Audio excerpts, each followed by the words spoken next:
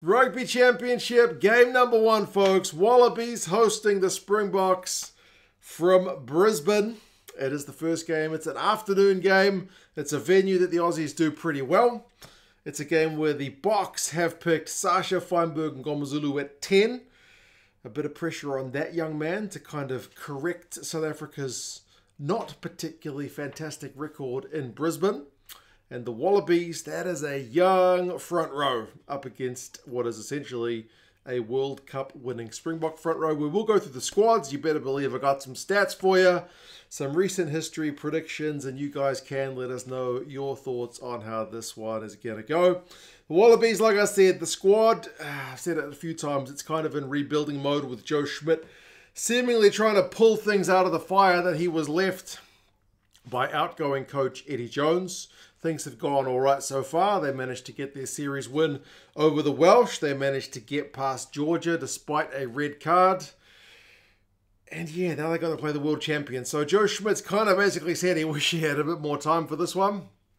But we will soon get a real idea of just where this Wallaby side is at. I mentioned the front row is an experience. They've gone with Kailea, Faessler, and Alaalatoa in the front row. Now, Alaalatoa is obviously a veteran, experienced campaigner at this point, and they have James Slipper on the bench. So there you got two proper Wallabies veterans, but then you've got Kailea and you got Faessler. Kailea has three caps, Faessler has seven, and then on the bench you got Josh Nasser who has two, and Zane Nonggorr who has six.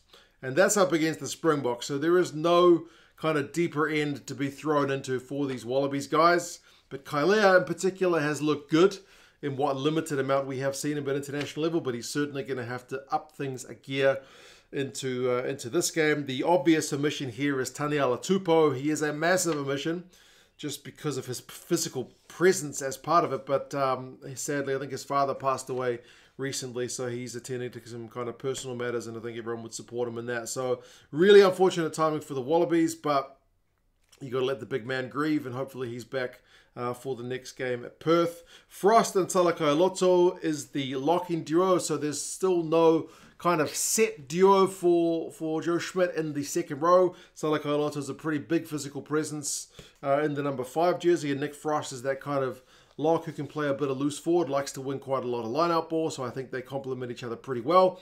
And they've got another debutant in the back row in Carlo Tizzano at seven. Remember, they've had a bit of an injury crisis with Liam Wright getting injured, with Fraser McReight, who's probably been the Aussie form player of the year in Super Rugby.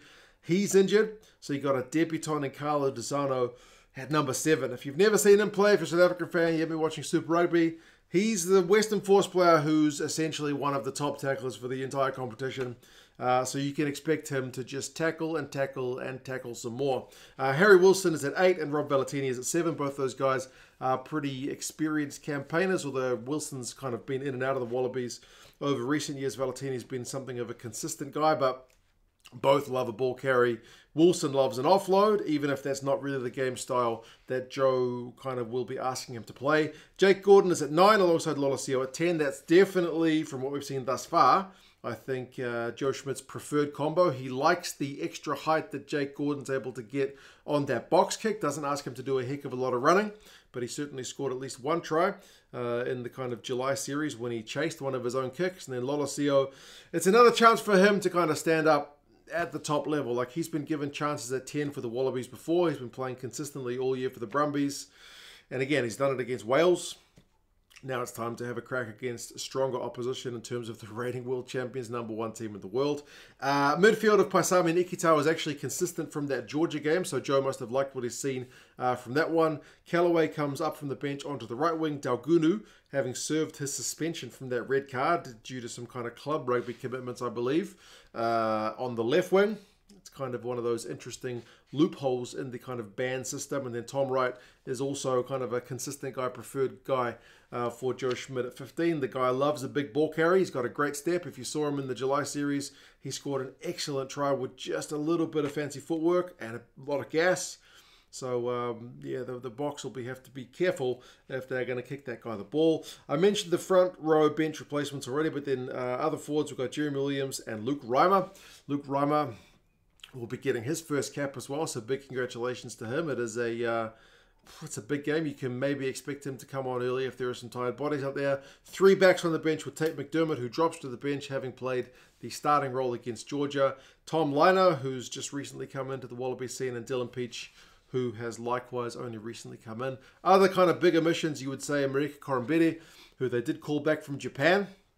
They're kind of only overseas based guy into the squad, but he doesn't get selected. You know, previous coaches have basically said, I'm not going to call guys back from overseas if they're not going to play.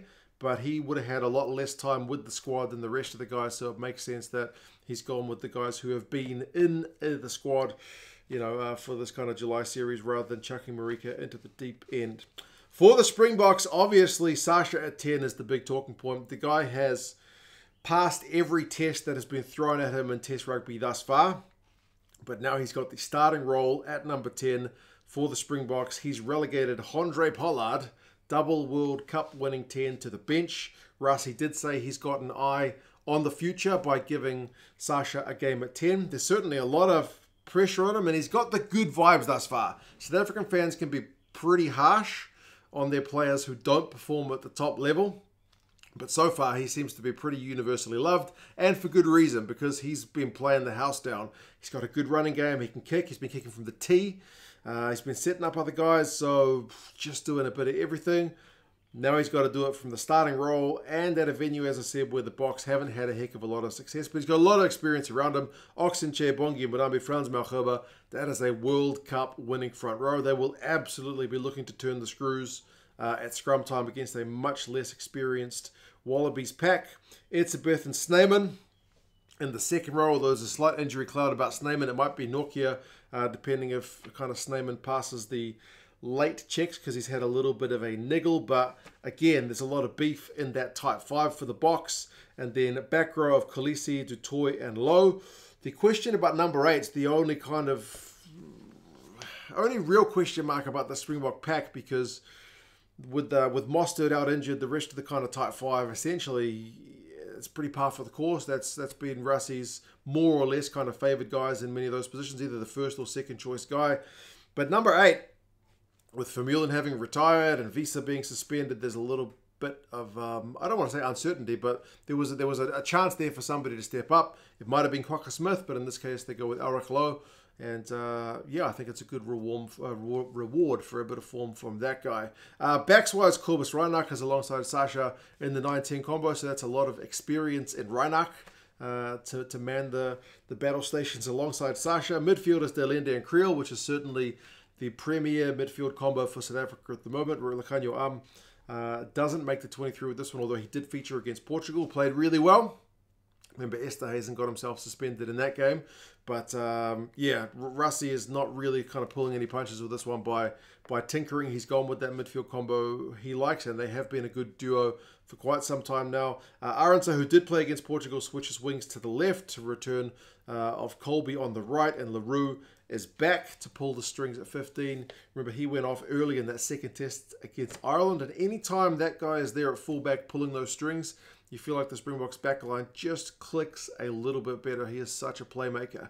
Uh, bench-wise, Marx, Steenkamp, and Koch. So Steenkamp is the kind of least experienced guy in this mix, but he certainly looked good from what limited amount we've been able to see him at test level.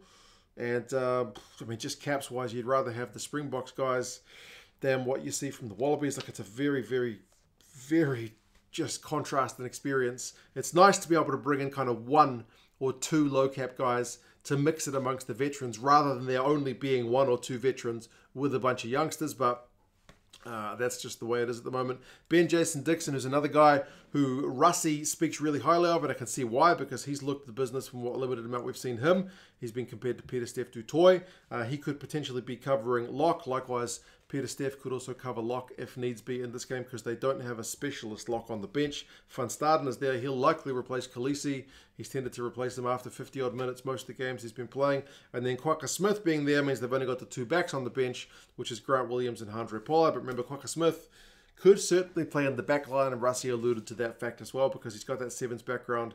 He is kind of Mr. Versatile. Are obviously without a bunch of guys injured. Um, you know, Mostert's injured, Wiese suspended, Kitshoff still not back ready. The list goes on um, for the Boks. I promised you some stats. The South Africans are kicking it less than the Wallabies in 2024 South Africa. Sometimes it's true and sometimes it's not. It gets this thing about how they kick it a lot. Well, certainly not at the moment. They're kicking less than the uh, the Wallabies, 26 kicks a game.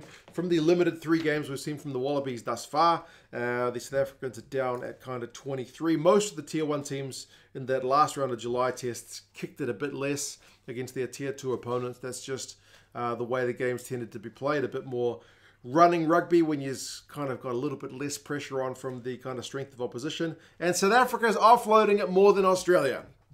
Joe Schmidt like kind of precision, careful, planned rugby, and that's reflected in the offload numbers. Uh, I think it's like 10 offloads a game for the Wallabies, whereas the sorry the uh, the Boks, whereas the Wallabies are kind of down more towards five. So the Wallabies have been under Schmidt thus far, just kind of building those layers into the game, keeping things relatively straightforward to start with anyway. South Africa will want to reduce the amount of clean breaks they've conceded, like they were very tight against Wales. But Ireland and then even Portugal, albeit South Africa had 14 men in that game, managed to kind of break the Springboks lines more times than the South African coaches will be happy with. And interestingly, uh, the fourth quarter has been South Africa's best. That tends to be when they have been scoring a fair few points. I know they lost that second Irish test in the fourth quarter, but I think the points total in that quarter was was it six each? But yeah, uh, overall across the four games they've played thus far this year, that has been the most prolific for the Boks, whereas for the Wallabies, it's the first 20. So one would think if the Wallabies are going to get a result here against a much more experienced Springboks lineup, maybe they need to come out of the blocks fast, put some uh, put some distance between them in the Boks, and then hold on as the Boks potentially surge back.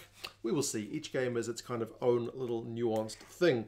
Uh, recent history between the sides sees the Australians have the better of the last five. It's three games against two, although the last two games have both been South African wins.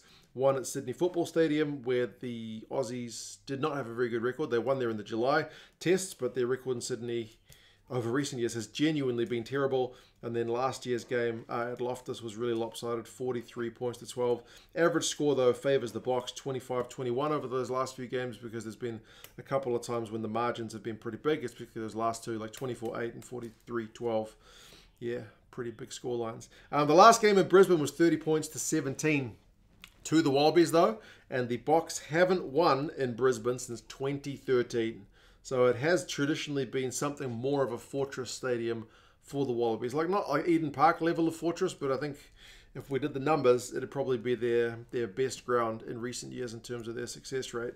Predictions wise, the bookies are saying the Boks by nine points, and the rugby forecast algorithm is going a step further and saying the Boks by 13. The referee for this one is Luke Pearce, and it is an afternoon kickoff, 2:45. I believe it's an early kickoff to accommodate some of the Olympics coverage or something like that. So it is an unusual kickoff time, but certainly uh, afternoon rugby should make for some pretty good ball handling and some pretty good skills on display.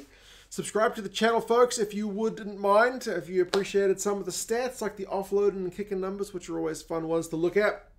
And uh, let us know your thoughts on who you think is going to get the win in the first game of the Rugby Championship 2024. You guys take care, and uh, I'll talk to you guys again soon.